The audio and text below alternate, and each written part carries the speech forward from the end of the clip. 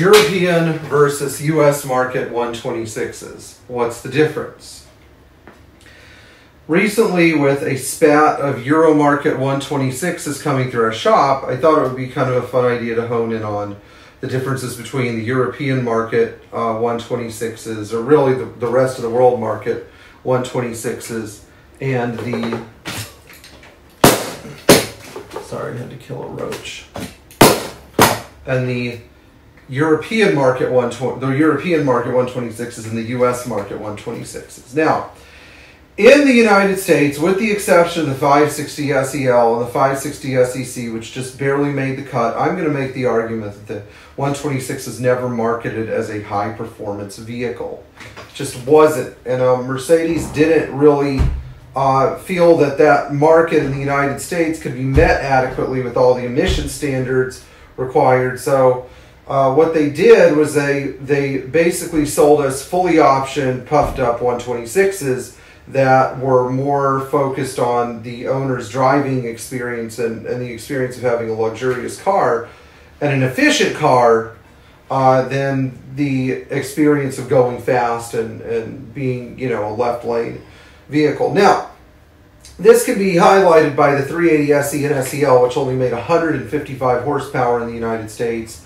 the 420 SEL, which made 205 horsepower, four different diesel models, the 300 SE, which um, was basically looked upon in Europe as the second lowest option package you could get in a 126, and of course the 560 SEL, 560 SEC, 500 SEL, and 5, 500 SEC, which were fast, but there were faster versions in Europe. Now, at the time in the United States, these cars were still nothing to laugh at.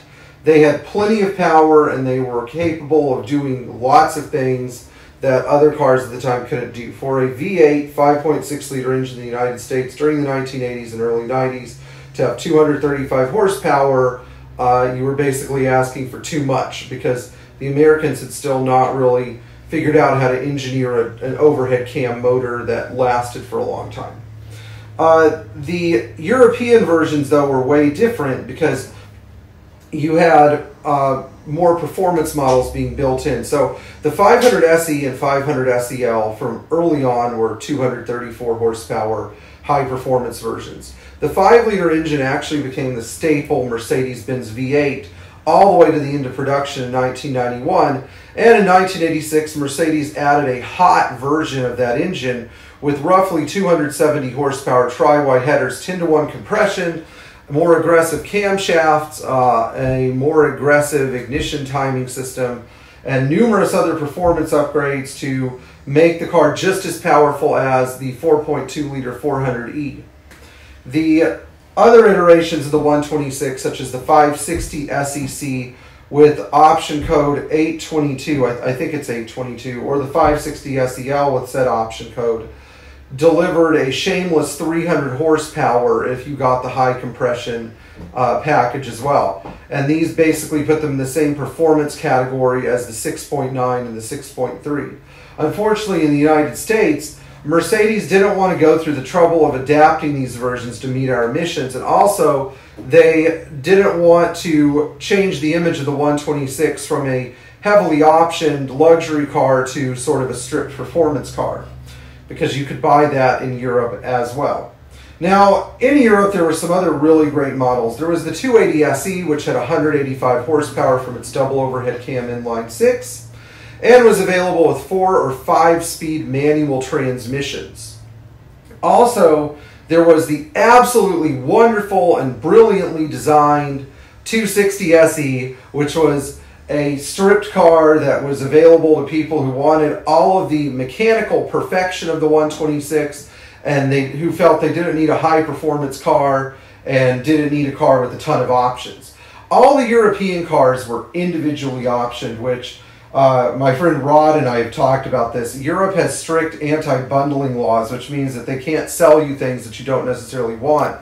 Whereas in the United States, uh, you were basically the, the dealers are basically allowed to say, okay, you have to have all these options together if you want this car, which is why all our cars came, came with sunroofs, leather, etc., etc.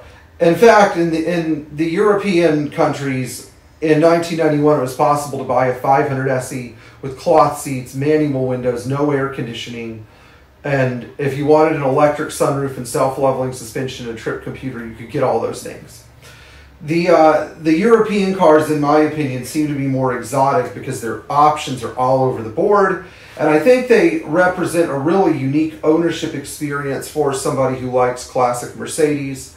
Uh, my friend Matt Kama, who well, he used to be my friend. I haven't talked to Matt in years, but Matt's running joke was that the European cars also got the strongest engines, and that they uh, they felt that the U.S. cars were he, he felt that they Mercedes deliberately put the engines uh, the weaker engines in the U.S. cars. Not the not that they were bad or would blow up the ones that just you know were like I don't know just not as not as enthusiastically built maybe.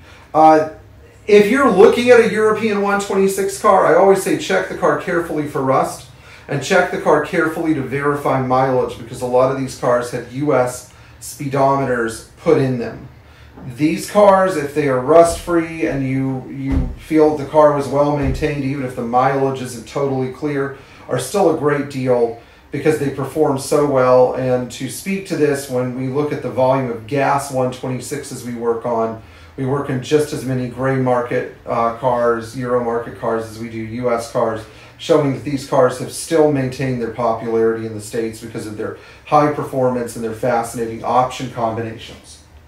Anyway, if you enjoyed this video, please like, share, and subscribe. Uh, the Gray Market 126 is a great way to get into classic Mercedes. It's also a very inexpensive way because some people are wary about these cars and their emissions requirements. Uh, but I, I think they're great, and I think if you're fascinated by one, you should look into them more. And um, in the meantime, if you're supporting us on Patreon, thank you so much. And uh, hit the bell for notifications and enjoy your Mercedes Benz. Nice. Seven Great. minutes, eight seconds. Seven minutes.